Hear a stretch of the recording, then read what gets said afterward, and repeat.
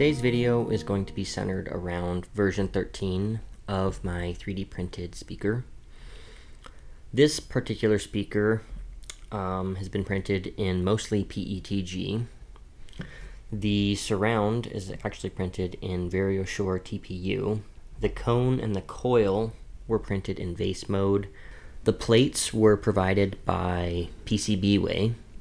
Um, they were machined and all, all of that.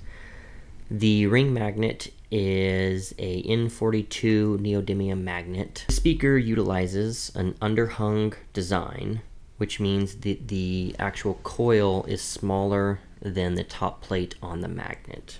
This particular driver is 4.75 inches from center to center of the surround. It still maintains the same flat spring design that we see in um, all the previous speakers that I've done. The box itself is a sealed box design. I didn't see a need for ports or anything like that to make this a woofer or to kind of tune it for any particular sound. The coil itself is made with 34 gauge wire. Also on this speaker, there's a screw design now incorporated for the motor. So the motor is all encased inside of a basically a large screw and it then can screw into the body of the speaker. It also allows for quicker assembly and it allows for more modularity in the future for any kind of design changes that I may need. So yeah, um, we'll get to some play testing.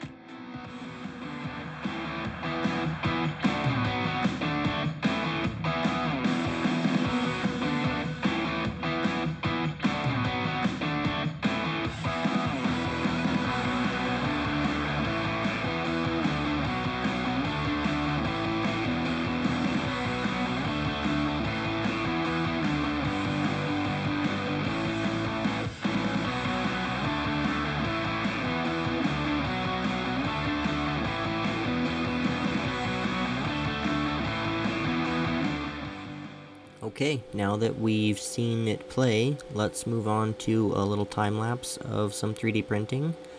And from there, we'll move to the REW and the DAT system to look at some technical data. But before that, a quick message about today's sponsor, PCBWay. Today's sponsor is PCBWay, the ultimate destination for custom prototype services, including 3D printing, CNC machining, and PCB manufacturing. Enjoy a special offer of $5 off your first order as a first time user. Get single or dual layer PCBs up to 100 millimeters by 100 millimeters in quantities of up to 10, starting at only $0. You only pay the shipping and handling charges. Experience exceptional quality and outstanding customer service as I personally recommend PCBWay for bringing your ideas to life. Visit PCBWay.com today. And now, back to the 3D printing montage.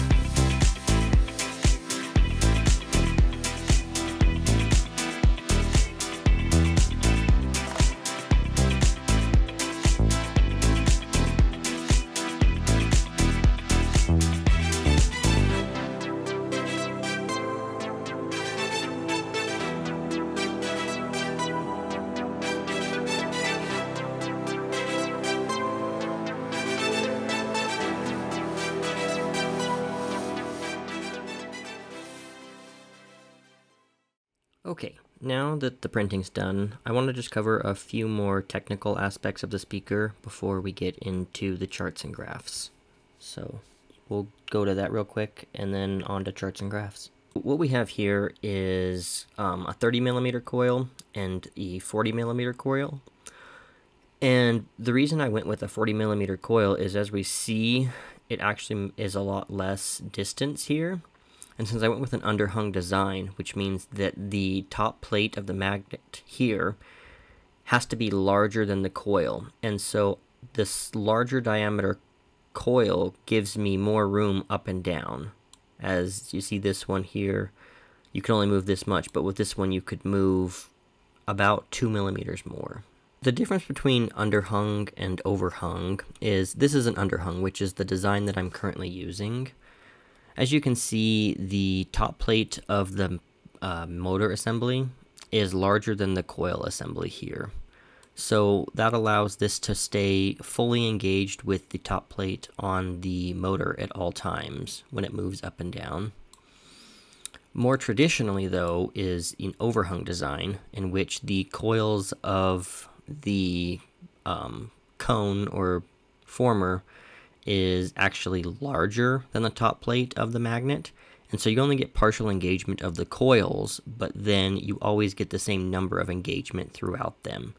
And you usually end up with a longer throw this way as you can come clear down to here and clear back up to here. And it doesn't take as much magnet to saturate this metal e either. So you get a much cheaper design by going with the underhung or with the overhung design like shown here. It's a much cheaper design and that's why most speaker manufacturers go with the overhung design.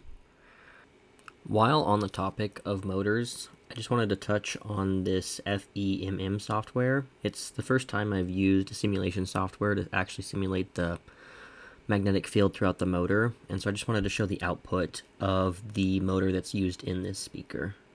So the simulation is showing that the voice coil, which is a small rectangular thing in the gap there, is being ex is experiencing just about one Tesla of energy from the the motor in magnetic force. So now we'll move on to REW and the DAT system to look at the graphs. We're in REW here we can see the version 13 speaker versus, versus the version 12 speaker. Red is the version 13, green is the version 12. They both have the same input of 0.5 volts red at the amplifier from the same amplifier, running the same um, pink noise simulation in REW. So this is a pretty apples to apples comparison of at least the two speakers compared to each other. And we can see that this new speaker outperforms it in almost every single spot except this tiny little area right up here around 9000 hertz. But other than that, it's it feels like it's a much flatter response and it's definitely a much louder response. And I believe that's a lot to do with the underhung design. So now we're in DATS, and this is the first version of version 13 that I tested. I don't actually I didn't actually record the next one up, but it actually was coming in around 86 87 on the SPL up here for 1 watt at 1 meter. For that, after I kind of moved the coil down just a touch and centered things up a little better, um, just kind of tweaking things around I have that screw adjustment I can do on the motor now too to adjust where it sits on the coil. So after just adjusting a few things, and then after a good probably 30 minute break-in period, this did move up to closer to, like I said, 86, 87. I'll see if I can have a screenshot that I can throw up here for that one. Um, but yeah, this is the um, Thiele small parameters for this speaker. Um, resonant frequency sitting right around 121 hertz. The moving mass, according to this, is sitting around 3.257 grams. I don't know how much I believe that. Um, the resistance inside the coil is approximately 4.24 ohms, and it is a 4.75 inch piston, which is measured from center of surround to center of surround. Last up, I just wanted to show the weight of each individual part as I thought that measurement was a little off. It turns out that it's about 15.6 grams of total moving mass. That about wraps up the video. Um, I hope you guys like the new format. It's kind of been hard putting things together and like rearranging the way that I do things, so if this video is not entirely perfect, um, I'm very truly sorry, but um, I'm really trying to work to get this format more down to a science and how I record things, as this has kind of really changed the way that I record these videos, as I did them more linearly before, and I would just record as I went along the progress of each speaker. Now I'm getting to the point where I'm having to record a lot of things and kind of mix mash them and go back and record more things, and then sometimes I forget things and so hopefully this turned out okay. Um, but yeah, thanks for watching, guys. Have a good one.